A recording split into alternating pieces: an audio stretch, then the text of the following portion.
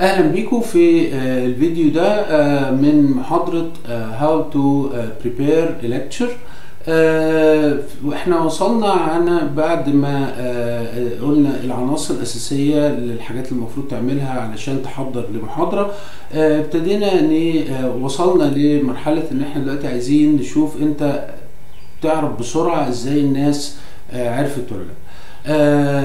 من آه، الحاجات دي في مثلا إن أنت تسأل أسئلة.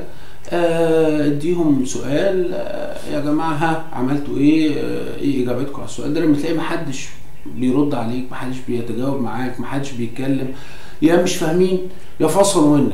وفي الحالتين آه، يبقى انت محتاج آه، تعمل حاجة تاني محتاج تغير من اللي انت بتقوله علشان آه، توصل لهم المعلومة.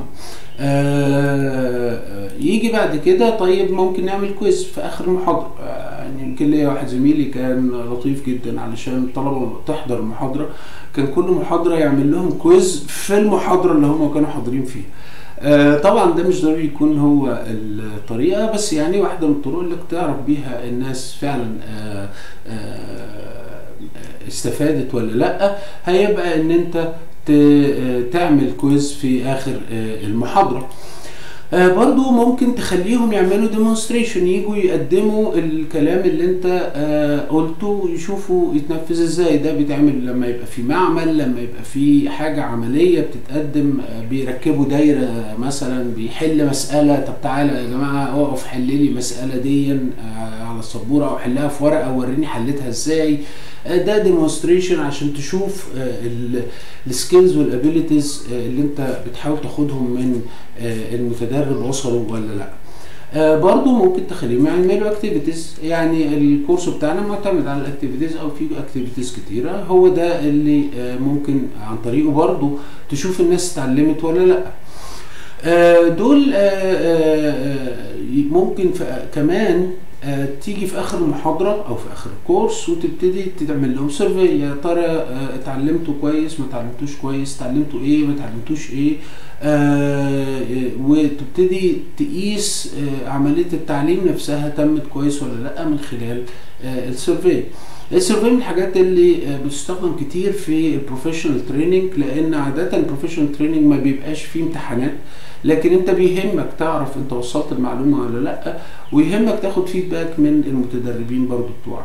وبالتالي انت آه، ممكن آه، تجهز سيرفيز وتستخدمها على قد ما تقدر في المحاضرات بتاعتك. طيب المتدرب نفسه أو ال- الطالب نفسه هيعرف إزاي هو اتعلم ولا لأ؟ هو برضو محتاج يعرف كده علشان آه، يبقى عنده ثقة بنفسه ويواصل الكورس.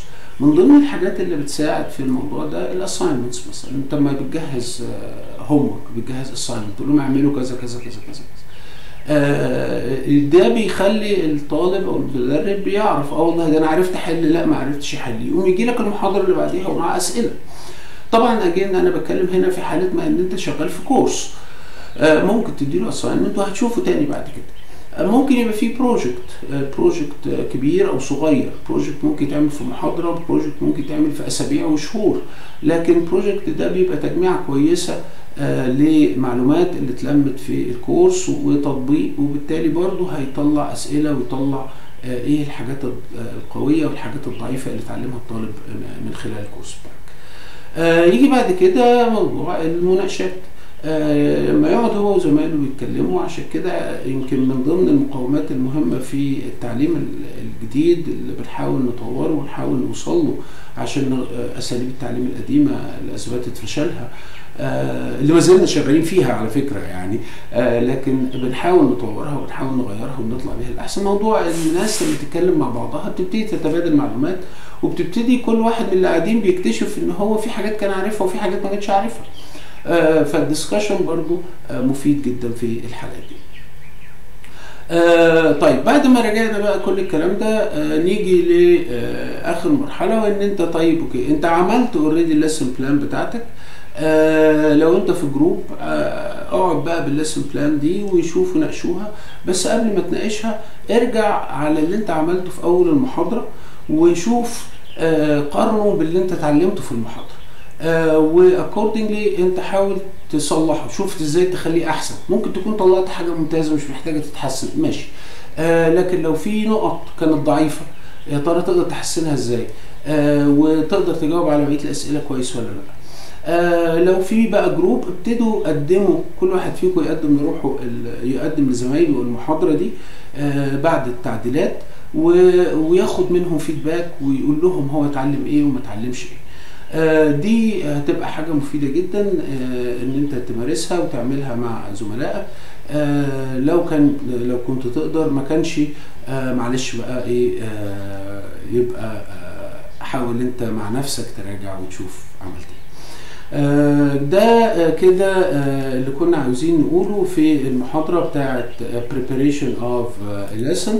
إحنا كده خلصنا المحاضرة دي. المحاضرة الجاية بقى هنتكلم عنها إزاي تلم ال material وتجمع material إيه ال resources بتاعت ال material اللي ممكن تستخدمها في المحاضرة بتاعتك وتجيبها منين.